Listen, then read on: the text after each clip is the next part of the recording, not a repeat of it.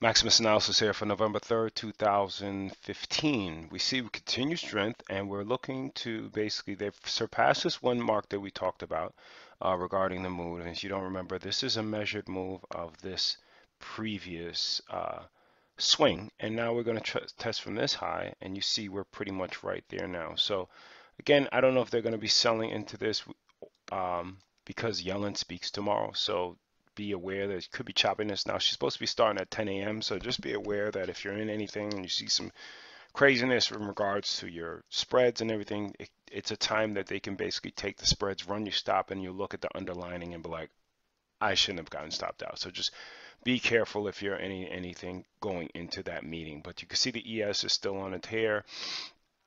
Uh, you got the NQ uh, at 4,700, and they're right at their measured move uh, point right now. So again, a pullback uh, could be something that um, would definitely uh, be healthy. But again, it looked like they've they've made their historic run, and uh, we'll see how much more they got to go and what the retracement actually looks like. So again, this is a retracement from last October, and we can see that pretty much is it is it last October? Yep, last October, and we see where we are right now.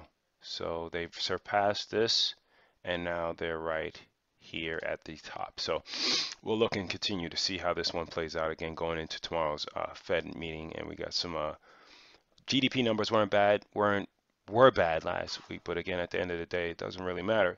Right now, they're at the middle of almost at 18,000, which will give them again the measured move uh, from the swing from last October.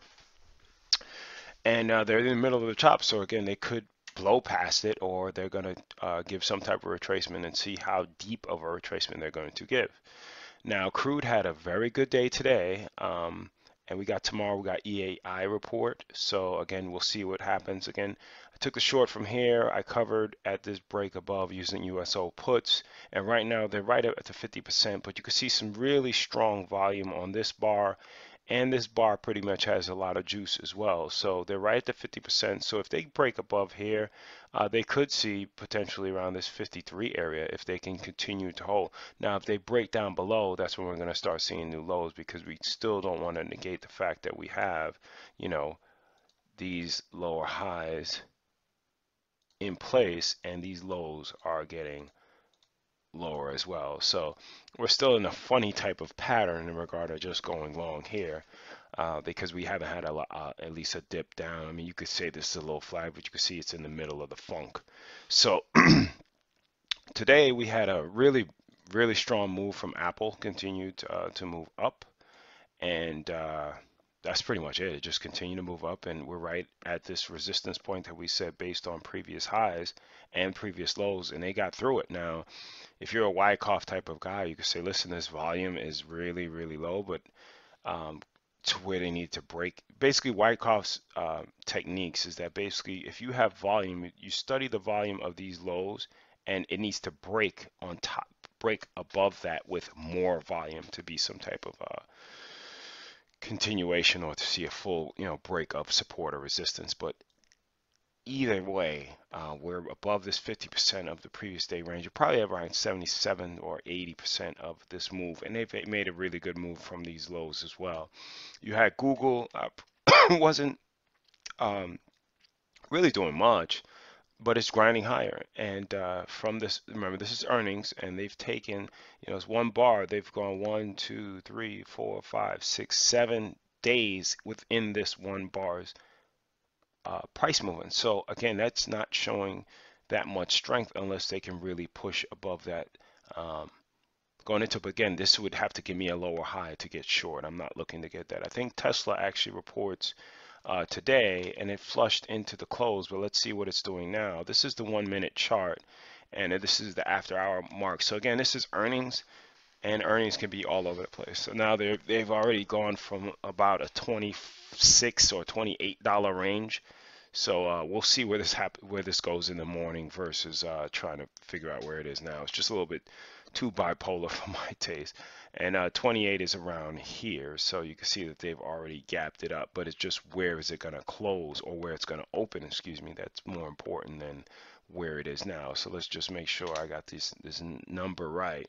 Yeah, so they got up to 230 and 230 is that doesn't mean that it could be one it could be 199 tomorrow but again it, it closed into that but that's why I don't really try to hold over earnings. You had the IWM again right at the 50% mark excuse me and you can see that this is not showing a lot of strength, but if it clears it and clears it with some type of momentum, you still have a lot of impulse bars within this move.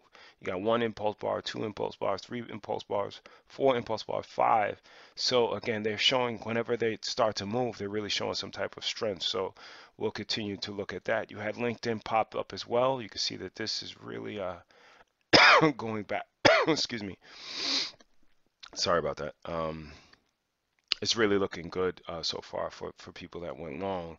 Uh, Baidu, again, kind of moving, uh, kind of looking like it just needs a pullback. But if it if it holds these levels that we have right here, then it's just a pullback for more upside potential. Um, and Facebook, uh, we had that. I think some other names that were really moving for the day traders were VRX. You had uh, PRAA, excuse me, PRAA you had um, a lot of movement on these day trading names. But again, I'll, I'll probably tweet more about those than anything. And you have uh, the dollar index is kind of just moving around, and you have the bonds kind of uh, they, they look like they're selling as well. So we'll see what happens again with Yellen's talk, and then we have a couple more things. But again, trade your chart, protect your profits, trade, you know, what's going on. You have FIT fell out of bed, but still within as weird as it sounds, it's still within this this range. So now instead of doing this, you could just pretty much adjust and say we're right back in this triangle, but you can also say that it still has the higher lows in place. So we'll see what what happens and if they continue with this higher volume to continue to sell. So uh, take care and uh, watch us see what happens tomorrow.